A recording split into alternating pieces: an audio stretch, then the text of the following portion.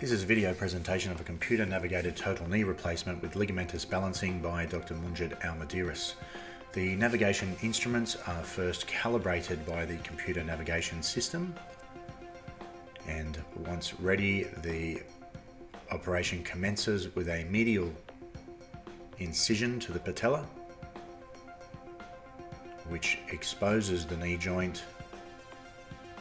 Menisci are removed patella fat pad is removed and the undersurface of the patella is cut in a three-step process prior to the patella drill and drill guide preparing the undersurface for the patella implant.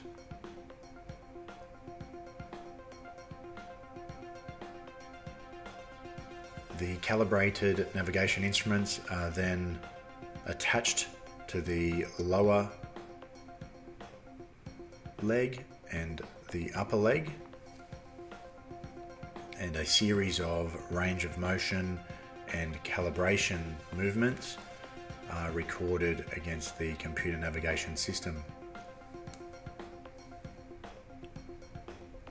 Point calibration is also necessary so that the system may generate a computerized digital image of the knee joint.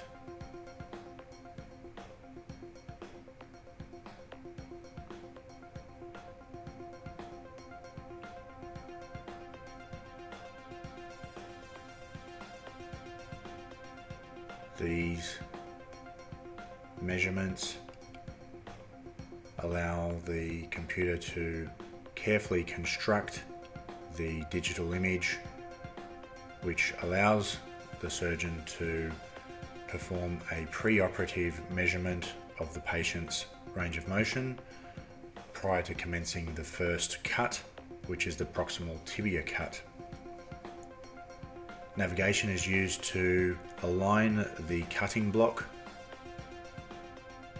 which when successfully in place is indicated by the green lights.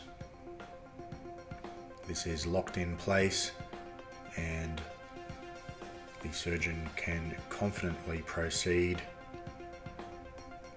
with an accurate cut.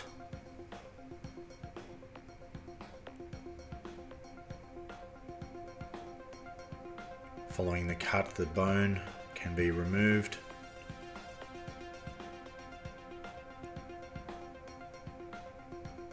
and assessed for size against the trial instruments. And then the cut can also be measured for accuracy against the navigation system. The next step of the operation involves ligamentous balancing, which is performed in both extension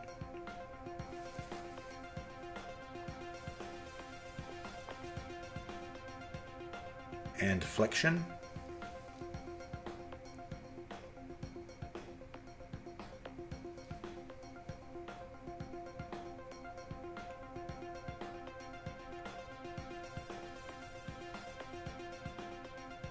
Once the navigation information has been received, the next step of the operation involves a femoral planning page allowing the surgeon to determine both the size and position of the implants of the operation.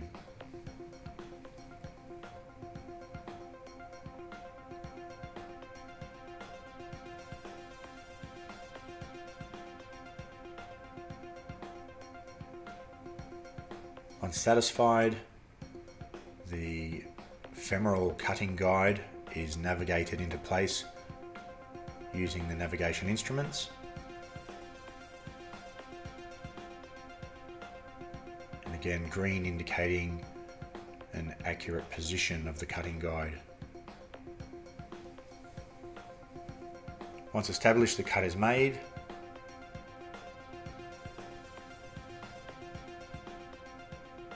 And checked for accuracy against the navigation system.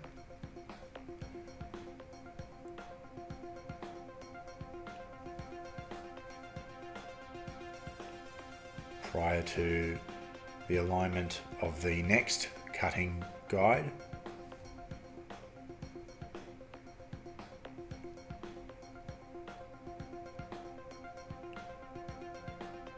which once the position has been found, the guide is locked into place and the cuts made.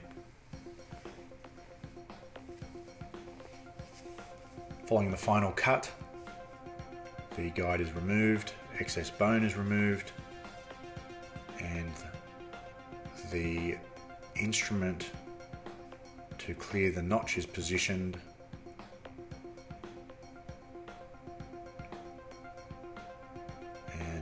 notch is cleared.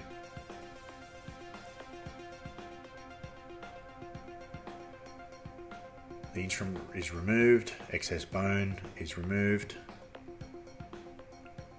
and with the final of the cuts made, the trial implants can be prepared and inserted. The first of the trial implants is the tibial base plate,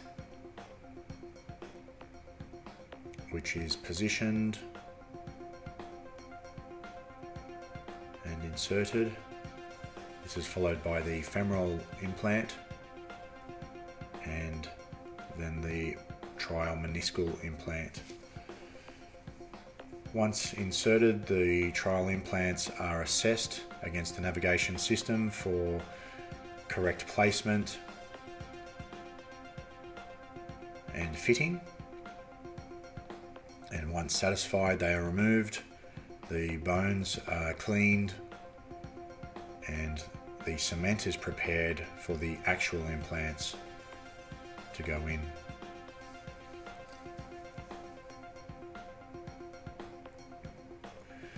The first of the actual implants is the tibial base plate, which has cement prepared, is carefully positioned and impacted down.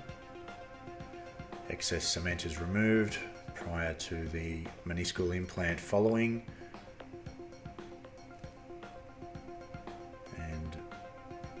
screwed down, followed by the femoral implant being cemented and pressed into place with excess cement removed, followed by the patella implant with once again the excess cement being removed. Final adjustments are made prior to the navigation assessment through a range of flexion and extension and once satisfied with the result the surgeon can remove the navigation instruments and conclude the operation.